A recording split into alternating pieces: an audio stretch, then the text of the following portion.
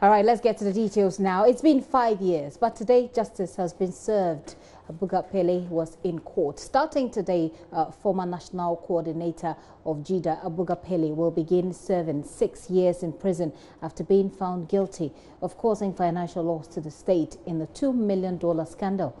Businessman Philip Assibit, charged with defrauding uh, by false pretense, has also been convicted. He'll serve 12 years in jail. We'll hear shortly from Manasseh Azure Awuni, who first broke the news in 2013. But first, here's Joy News' legal affairs correspondent, Joseph Ackah-Blay. He was in court.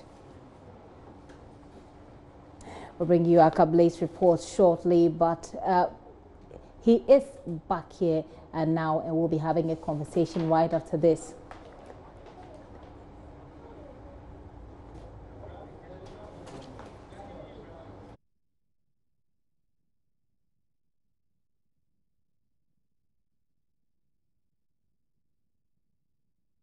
A quick look at the background of this case. Now, they was heard in, in, the, in an Accra High Court, the Financial Division of the Accra High Court. The judge who sat on this matter, Justice Efia Serwah Asare-Botwe, and the trial commenced as far back as January 24th, 2014.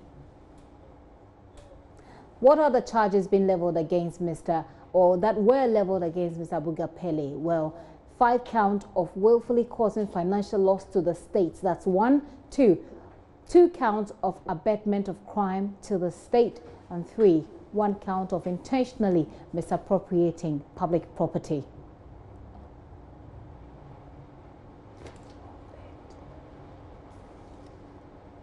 Mr. Bugapele, of course, as you will well know, was coordinator of the national of the National Ghana Youth Employment and Entrepreneurial Agency, GYEEDA.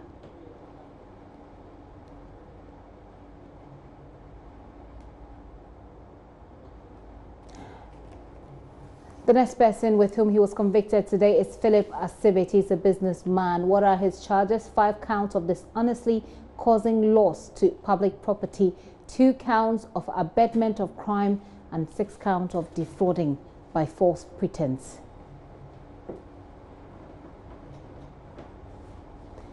He was the CEO of Goodwill International Group.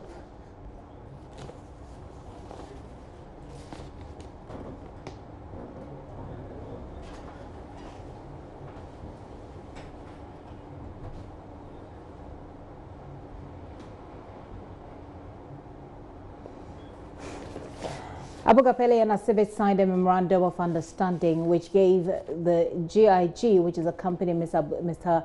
Uh, Philip Hertz, the mandate to render services without recourse to the Minister of Employment at the time.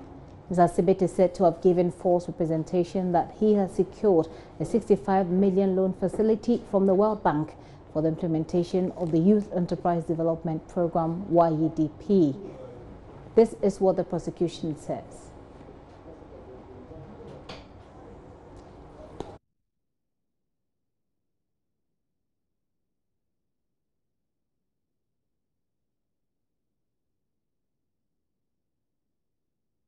It's been a breaking news throughout the day and something that's kept all news persons moving around. We'll be bring, we'll hear from uh, Joseph Ackah-Blay, who was in court, to recount everything that happened in court for us today. We'll also bring you his report from there. You get to see how they all look, perhaps. But let's go to Parliament. We've been sampling some views from some of the parliamentarians. We can hear from Rashid Pelpuo. I think so. I think the the the the, the, the years have shocked us but that's the judge. I don't know what considerations he had. You know, he put in place. He he he um, took into consideration what he took into consideration before that judgment. But I would have wished that there would have been some amount of consideration for what he has done, the service he rendered to Ghanaians for all these years as a member of parliament, three-time member of parliament, and then slipping along the line. So he could be jailed, but not this much. Mm. Shouldn't that rather be the case to serve as a deterrent to others when they get the opportunity to manage the public pay?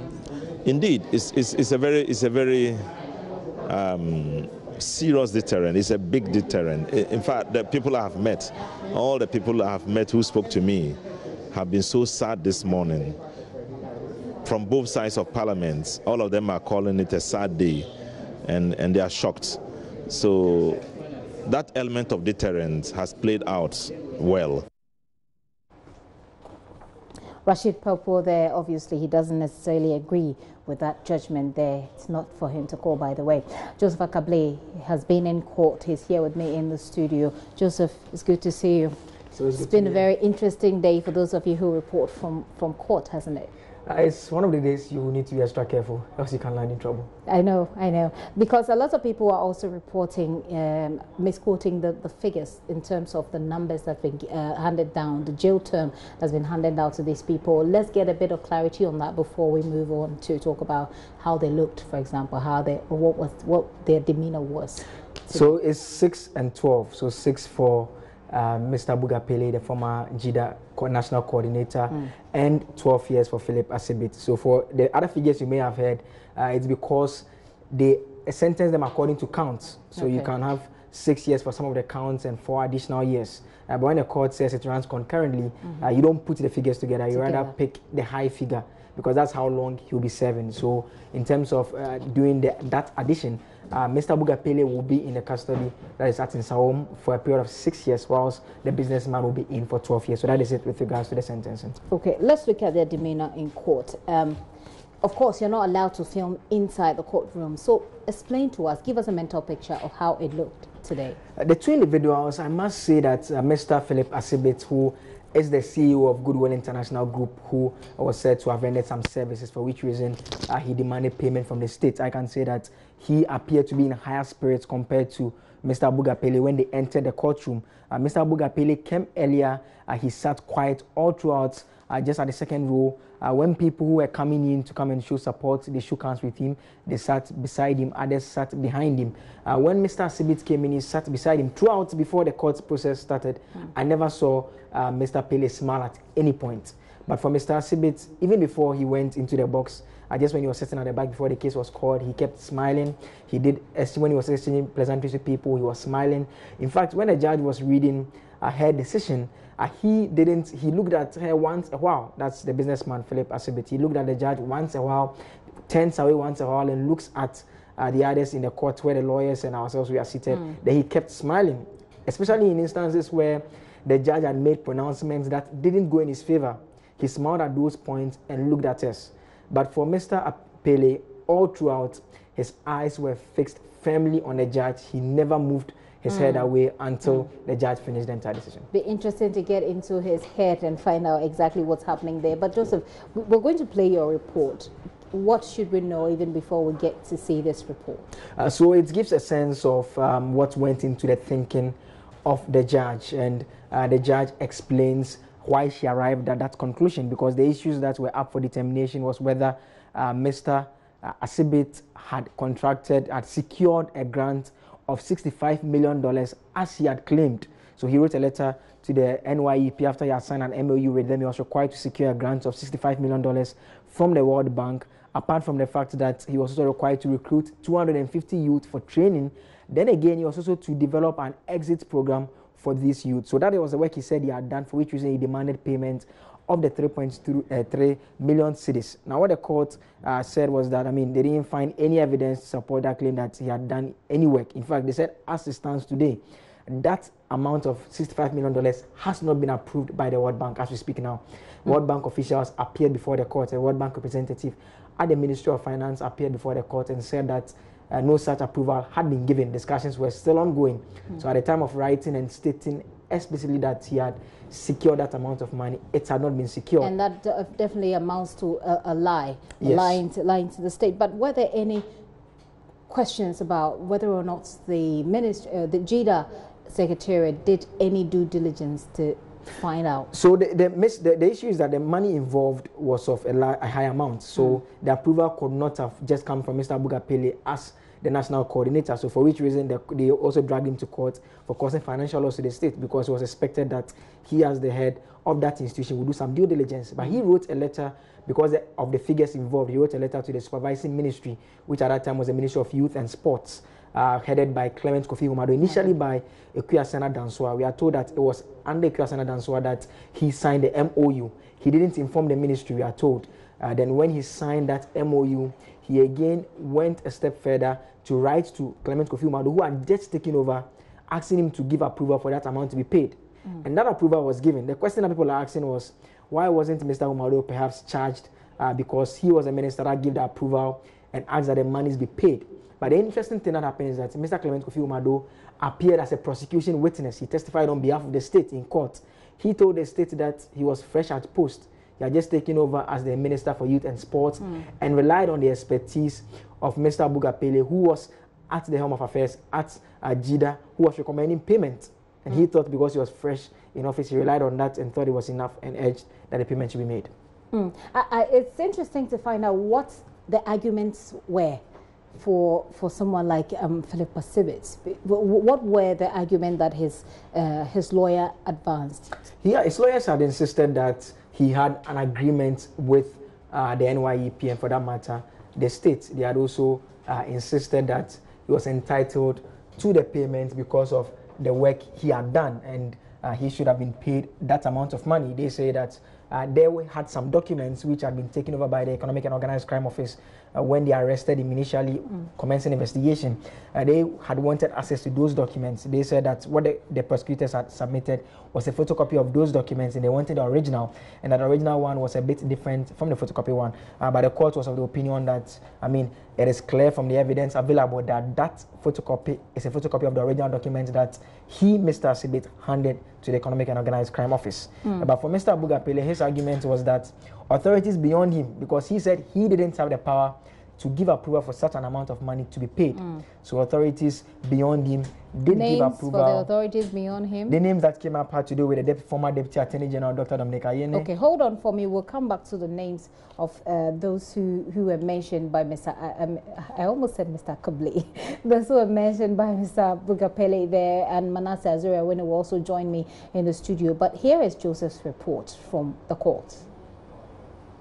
The High Court's decision ends the continuous appearance of Philip Assibit, CEO of Goodwill International Group and former GYEEDA coordinator Abuga Pele at the Law Court complex. The state prosecutors had alleged an MOU had been signed between the two individuals requiring Mr. Assibit to secure a grant of $65 million funding from the World Bank recruit 250 people for training, as well as organizing tracer studies. Mr. Sibit is accused of writing a letter to Mr. Pele demanding payment for the work done. The state was convinced, according to prosecution, by the GYEEDA boss to make payments to the tune of 3.3 million cedis to the state. State prosecutor Evelyn Keelson insisted no work had been done by the businessman. Lawyers for the two had justified the payments, while those of Mr. Assibit insisted he had done the work and deserved payment. Mr. Pele's lawyers were of the view that approval from higher authorities in government was given before payments made. Delivering her ruling, Justice Efia Serwah Asare-Botwe said evidence before the court doesn't show that any work was done by Mr. Assibit to merit the payment. The court also held that at the time he was requesting payment, he had not secured any grant from the World Bank and that grant was still yet to be paid. He had also not recruited any 250 individuals as he had claimed or organized any trade studies as he had told the court. The court thus found the former GYEEDA coordinator guilty of 13 counts, ranging from abatement to commit crime to willfully causing financial loss to the state.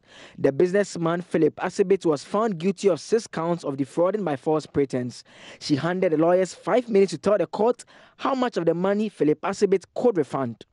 Uh, after five minutes of conferring their lawyers, they came and deferred the matter to the state, allowing that the judge, for that matter, decides, and that is for the court to decide. Uh, the ju trial judge again was of the opinion that that amounted to they not demonstrating enough remorse of willingness to return to the state monies that the court has now held were illegally obtained. For that reason, he, she proceeded to give the sentence of 12 years for Mr. Philip Assibit and six years for Mr. Abuga Pele. Uh, she again indicated that the state is to proceed to retrieve The money, that is the $1.9 million, the cedis equivalent of 3.3 million cedis from the individuals through any assets belonging to them once it is possible. So we look forward to that appeal that the lawyers have served notice of filing. Kweku Pentil confirmed that to Joy News and other pressmen right after proceedings.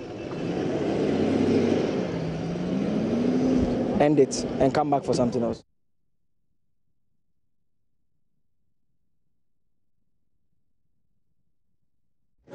Uh, there's a strong possibility that we're going to appeal against the sentence. But did the conviction and the sentence, the conviction. Is it a case that you still maintain that your client did no wrong in the entire agreement? I think the judgment, based on what I heard the jury, there are fundamental issues. Issues such as what? there are several issues. Several issues. You're asking me to give you at least one example. That will be fine. Good. Uh, at least on the side of the defense, I'm talking about the A1. The law enjoins the state in prosecuting a matter to make available all evidence in their possession to an accused person. It's a rule of law. There are no flexibilities with it. This is a clear case where there was a lot of evidence they took from the accused person and they refused to deliver those bits and pieces of documentary evidence to the accused person. It's one of the several issues that we address the court upon. This got nothing to do with a substantive matter. In law is both substantive and procedural. And in terms of procedure, if there are certain lapses, there are certain breaches with clear rules of procedure, it always endures to the benefit of the accused person. I heard the judge address the issue by dismissing it and suggesting that the uh, accused person could have applied to the court for those documents are released to him. But it's not the business of an accused person to apply to the court for that, for, for those things to be released to him. It's as simple as that. The real issue is whether indeed there was such evidence and whether such evidence, if it had come in, could have assisted the accused person. This was our point. So it is irrelevant with due respect to the court. It's irrelevant in our view whether indeed we could have applied or couldn't have applied. The, the substantive issue was not addressed. In if, if I'm to understand what you are saying, is it is it your contention that if that document had been made available to you, it could have boosted that defense yeah, that he put up? it exculpatory evidence. Exculpatory is favorable evidence. Anything. Because see, the thing about law, the thing about criminal prosecution is that an accused person need not even say anything at all. An accused person can stand mute of the court. And it's the duty of the prosecutor to prove their case beyond reasonable doubt.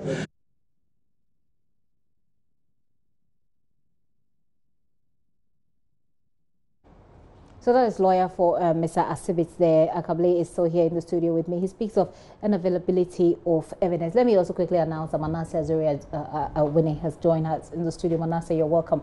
Manasseh, you. you. did that story um, in 20, 2013? 2013. Hold on for me. Let me finish with Joseph Ackah-Blay. Joseph, speaking of the availability of evidence, do we know the kind of, he says favorable evidence. Do we know the kind of favorable evidence he's talking about here? Uh, it had to do with the original documents that I had explained earlier that he had wanted to have access to because they said they gave the original to the Economic and Organized Crime Office. Okay. Uh, but the court had said that the copy of which uh, the state prosecutors had submitted to the court. So if they wanted the original, they could put in an application okay. and have access to it. So he is of the opinion that he thinks that if that had been handed, it may have changed their case because it was it's evidence that is favorable to mm. their case. Uh, but the judge disagreed with them. Before we went, uh, we played that story. We were talking about uh, Abuga Pele and the names he says. He says some authority authorities higher than him uh, approved the payment of that amount. So he mentioned some names. He, he, he had submitted to the court letters he had written uh, to justify the payments, mm. and in all those letters he kept mentioning names such as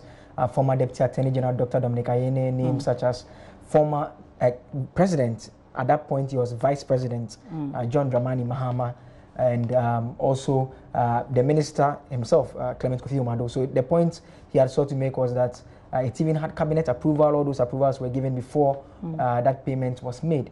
But the judge was of the view that she thinks references were made to those names to create the impression that it had there was backing of powers beyond him in order to convince for that payment to be made. And that, that is the same thing he's repeating again in court to shift blame from himself. Who had convinced them? And the judge said that earlier letters he had written was clear. He was clear in his mind that he knew the man had done the work Okay. So yet, if you are trying to convince people later, later on, those names it. doesn't really matter. Okay, but they're going to appeal. His lawyer says. He says uh, latest by next week Friday. Do other Latest by next week Friday. We'll be here to bring you all of those updates. Joseph Ackah-Blay will be following that. Joseph, thank you very much for that update. Let me now engage Manasseh Azure Awuni. Manasseh, first, let's start with um, your initial thoughts about the case so far. Well, I have followed the case. I know what went to court and at the end of the day, I can't uh, fault the court for doing its work. And all the time when we are doing stories such as this, what we say is that uh, we want the state to take action beyond what we have done. Mm. And the state took that action. So it's commendable that at least it has gone through the legal process and ended. Right. I, and I, I said that because you've already given us a bit of background, but there are other companies. I mean, this uh, case has traveled really far through uh, uh, the, the entire system of this country. There are still some other issues, some other um, companies, that things that were not necessarily a part of this court case. Can you tell us a bit more about that? Yes, what I can say is that if you look at the GYEEDA uh, scandal, this 3.3 million cedis is about the smallest of the scandals we uncovered. And if you read the GYEEDA report, there are mm. quite a number of infractions.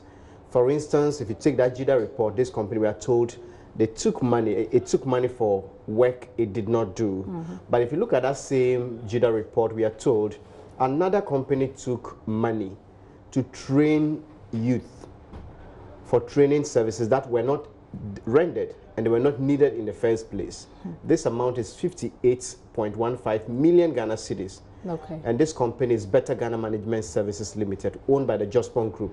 What I'm saying is in the GYEEDA report.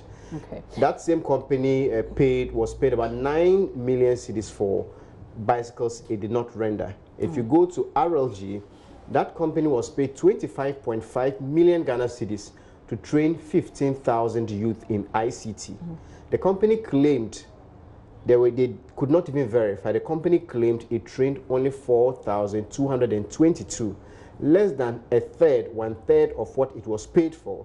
As we speak, they have not been held accountable. Nobody even followed up to retrieve that money. Mm. If you look at Zoomlion, for instance, if you look at page 131 of the GYEEDA report, quite a number of overcharges were there. So, but we know that some of, I mean, some other persons have shown interest in this case. Some of them have gone to CHRAJ to petition CHRAJ, etc. You have the report, uh, the GYEEDA report, and I'm sure that you followed through. Has anything happened with CHRAJ since with CHRAJ since uh, the report came out? No, for this report, as I said earlier on, quite a number of big companies and individuals are involved, and they were virtually left off the hook. So. Um, I know Sydney Casely-Hayford actually petitioned CHRAJ with the GYEEDA report mm. and ordered CHRAJ or petitioned CHRAJ to look into it and recommend uh, punishment or whatever. Right. So as we speak, that has not been done yet. CHRAJ has not finished this uh, review, mm. and it was submitted in 2013. Okay. So nothing has happened yet. I am hearing that CHRAJ is preparing to submit that report to the Attorney General okay. for action. But as we speak, nothing has been done. And if he mentioned earlier, if you go through the report and even what we uncovered, mm. one thing is clear. One individual whose tenure supervised a lot of the rot in GYEEDA is Clement Kofi Humado, then Youth and Sports Minister, who has also not been touched. Mm. Well, hopefully, as the story develops further, and now that there's a special prosecutor, there will be some shakeups here and there. Manasseh, thank you very much. But this does give you a lot of journalistic fulfillment, I, I believe. Well, I don't know how to say about that. Manasseh Azure Awuni broke that story on GYEEDA, and it's been five years down the lane today. They've been handed 18 year 18 year jail term, both of them, Mr. Philip Assibit and Mr. Abuga Pele.